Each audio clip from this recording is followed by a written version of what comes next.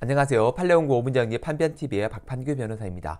2022년 1월 1일자 판례연구 민사 연속된 명의신탁과 제3자 보호 사건입니다.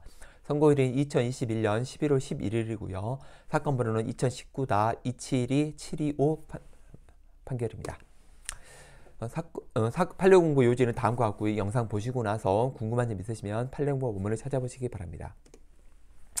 이 사건은 이제 손해배상 사건이고요. 원고는 이제 원 토지의 원 소유자였습니다. 그러니까 이제 이 사람이 이제 명의 신탁을 했는데 문제가 발생한 거죠.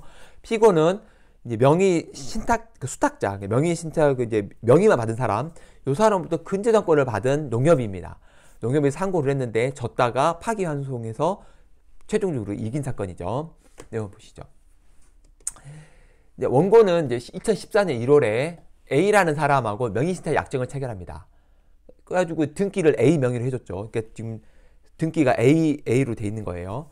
근데 A가 채무 담보로 B한테 근저당권을 설정해 줍니다. 자기 땅도 아닌데 B한테 근저당권을 설정해 주는 거죠. 그리고 나서 이제 A는 여러 채권자로부터 가압류 등기를 받습니다. 이 토지가 A 토지로 돼 있으니까 가압류도 A 이 토지에 계속 붙, 게 되는 거죠.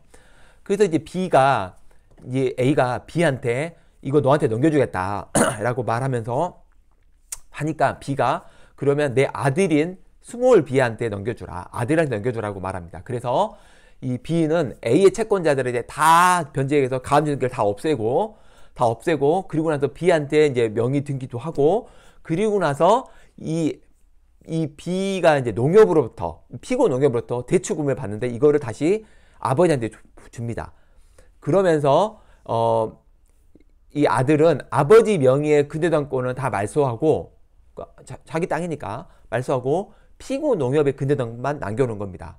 그러니까 등기는 어떻게 되어 있냐면 A하고 그다음 B의 아들이 명의를 갖고 그러고 나서 B의 아들이 피고 농협한테 그대로 설정해 줬죠. 그런데 원고하고 A 사이에서 명의상 약정이 있었던 거고 이 A와 그 B의 아들 사이에서도 명의시작이 있습니다. 왜냐하면 이거는 실제로는 B한테 넘기려고 했는데 B가 안 넘겨고 B의 아들한테 넘겨줬기 때문에 명의시작이 된 거죠. 그래서 두 번에 걸쳐서 명의시작이 되니까 원고가 B의 아들에 대해서 사회행위 취소, 그러니까 어뭐뭐 뭐 다른 사정이 있겠죠. 이걸 취소하고 예비적으로 진정명의 회복. 네, 이거 다 무효다. 무효라고 해서 소유권 이전기 청구를 합니다. 그러니까 두 번의 명의시가 있었기 때문에 명의자 그 소유 등기는 다 말소가 되는 거죠. 말소가 돼서 대행할 수가 없습니다. 없기 때문에 이거는 이제 A가 결국 원고가 최종 승소를 했습니다. 결국 원고는 소유권을 회복을 했어요. 했는데 문제는 피고 농협의 근저당권. 이게 과연 효력이 있느냐가 이 사건의 핵심입니다. 문제 문제 이렇습니다. A와 B의 아들의 등기는 모두 명의상 약정에 따른 등기 명의이기 때문에 부실법상 무효입니다.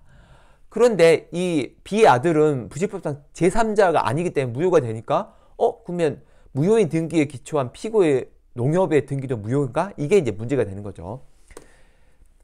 원심은 A와 B의 아들이 모두 무효이기 때문에 제3 무효 등기고 무효 등기를 바탕으로 피고 농협의 등기도 무효다 이렇게 판단했는데 대법원은 그, 그렇게 생각하지 않았습니다. 대법원 뭐라고 하냐면 연속된 명의 신탁에 있을 경우에는 최종의 명의 수탁자로부터 새로운 권리관계 이해관계를 맺은 사람은 제3자가 맞다. 따라서 연속된 명의 신탁에 있어서 B의 아들로부터 근저당권을 받은 피고 농협은 부실법상 제3자가 맞다라고 해주는 거죠. 따라서 피고 조합의 근저당권 유효하기 때문에 원고는 명의를 회복은 했지만 근저당권은 말소시킬 수가 없게 되는 거죠. 새로운 제3자이기 때문에. 결국 이 사건은 명의 신탁에 있어서 횡령죄가 성립하지 않는다는 판례들이 이제 쭉 나오면서 어 명의 신탁자를 보호하지 않게 됐습니다. 그러니까 횡령죄가 안 된다는 말은 회복할 수 없게 되는 거죠. 명의 신탁자라. 결국 명의 신탁에 따른 그 제도를 사실상 효력을 무력화시키는 게 대법원 판례의 태도였습니다. 그동안. 그러면서 이 판례도 결국 최후의 제3자를 보호하는 거죠.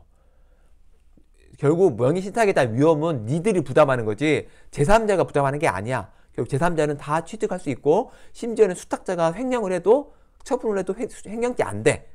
결국 명의신탁에서 수탁자에 대한 보호는 점점 더 약화되고 있고 그러니까 신탁자에 대한 보호가 점점 약화되고 있고 이런 취지의 유사 취지의 판례는 앞으로도 계속 나올 겁니다. 따라서 이 판례는 기억해 두시는 게 좋고 향후 명기신탁에 관한 여러 가지 어떤 사건이 있을 때도 점점점 명의신탁자를 보호하지 않는 방향의 판례가 나올 가능성이 크다는 것도 같이 알아두시는 게 좋을 것 같습니다. 이상 마치겠습니다. 감사합니다.